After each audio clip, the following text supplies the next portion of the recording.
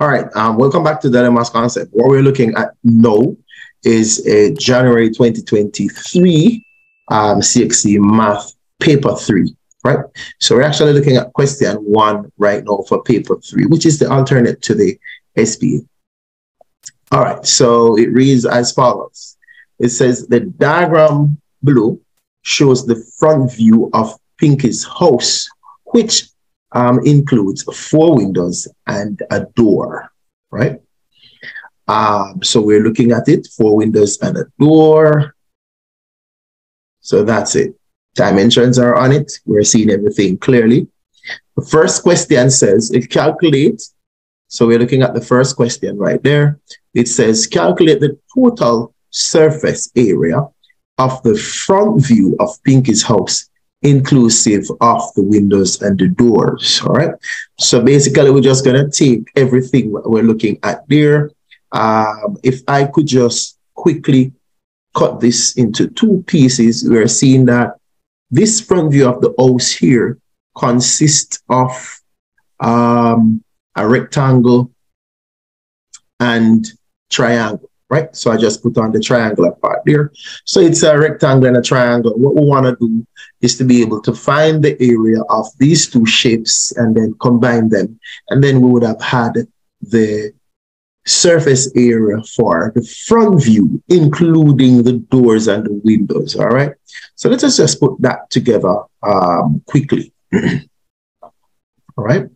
So, so basically then, that front view um, would be consisting of uh, one, the, the area of the rectangle, right? So let's just look at that first. So the area of the rectangle, the dimensions are given. Here's the, that's the length and that's the width right there. So we're talking about length times width, which is equal to 13 meters times 7.5 meters. Right? So 13 times 7.5, I'll do this quickly. And that is 97. So I'm getting 97.5 square meters, right? So that is actually the area for, um, that's the area for the rectangular part. All right, so let's find the area of the triangle. Area of the triangle is equal to, as we know, half base times the height, right? So um, technically speaking, this is the base of the triangle, and then this is the height given. So that number that we have for the base there, it is going to be the same 13 meters from down here. So basically we're looking at a half times 13 times 3.4. So a half times 13 times 3.4 Let's finalize that.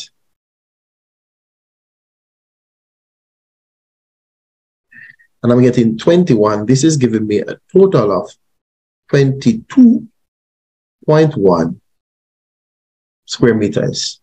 All right, so we could highlight the fact that this is the area of the rectangle. This is the area of the triangular part. So now the total surface area is going to equal to the 97.5 plus 22.1. We'll put that together.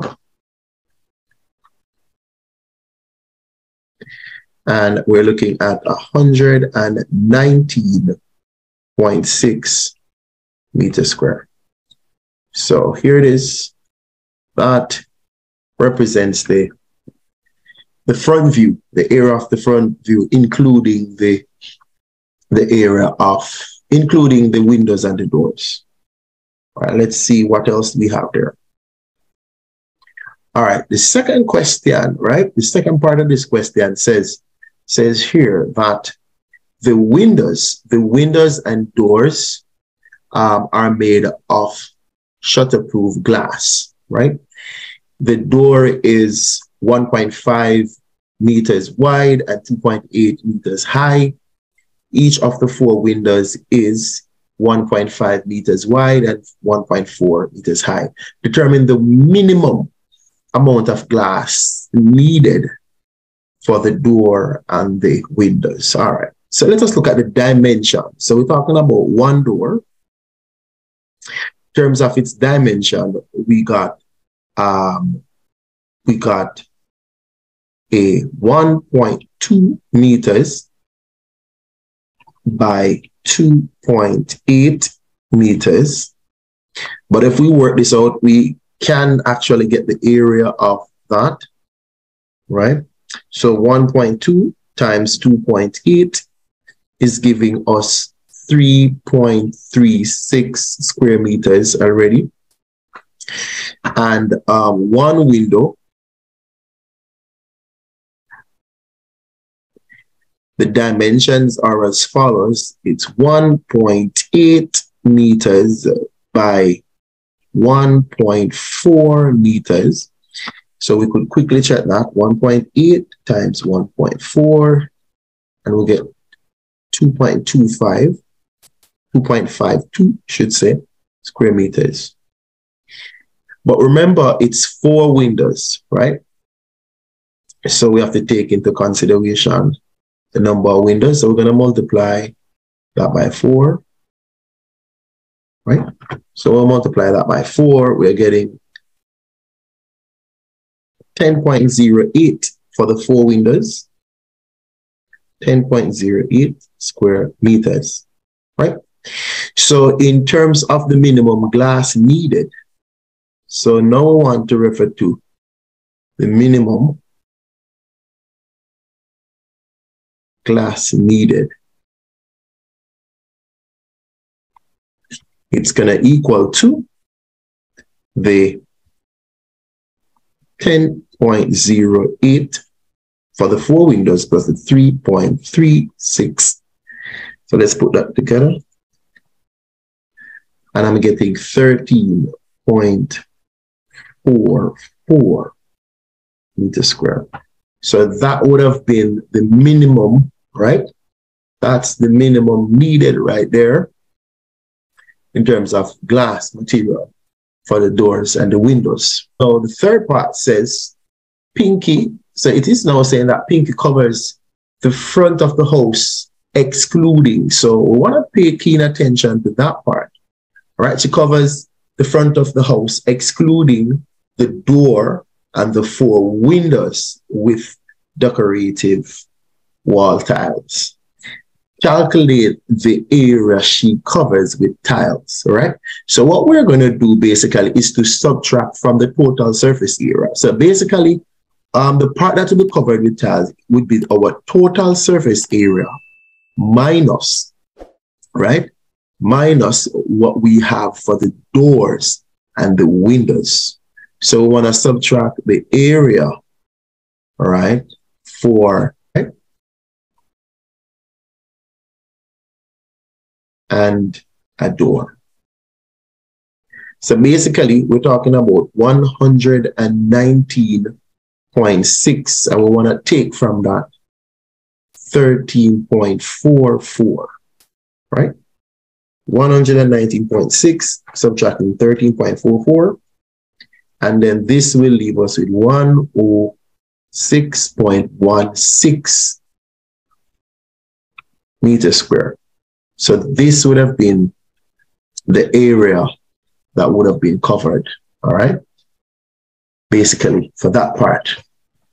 That Pinky, Pinky paints one of the walls of the house, which has an area of 53 square meters. So the area that we're thinking about now is a part that is about 53 square meters. So we're thinking about that. Now we're being told that one liter of paint covers 4.5 um, square meters. So we're saying now one liter, yeah, one liter will cover, one liter covers a 4.5 square meters, right? So one liter will cover that, no problem. All right. Um, paint is sold in, in 2.5 liters a tin, all right? So we're gonna buy 2.5 liters in a tin. So we're talking about it is sold in tins, and we're saying that it's 2.5 liters per tin. 2.5 liters in one tin, no problem. Each costing $24. So talking about the cost per tin is going to be $24.75. So they are saying that Pinky buys the least number of tins required to paint this wall. In other words, we need to paint off all of this wall, right? Calculate the cost of the paint required, right, to paint the wall. The cost of the paint required because she's going to have to buy the number of required tints, right? So now what we want to do is to put some things into context. First, we want to know the number of liters of paint that will be required. So we want to write down that we intend to find out the number of liters,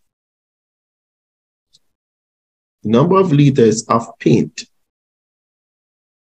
needed. So it's all about this area, which is 53 uh, meters square. We want to divide that by 4.5 because we're saying that for each 4.5 surface covered, uh, meter surface covered, it's going to be one liter. So 53 divided by 4.5 will give us a, about 11.8 11.8 liters, right? That will be needed. But at the same time, we realize that for each tin is 2.5, so I need to know how many tins. So I need to know the number of tins needed because each tin consists of 2.5 liters. So I'm going to have to divide this 11.8, divide it up by 2.5 to see how many I'll get. So 11.8, I divide this by 2.5, and I'm getting 4.72 tins, right? 4.72 tins that I need.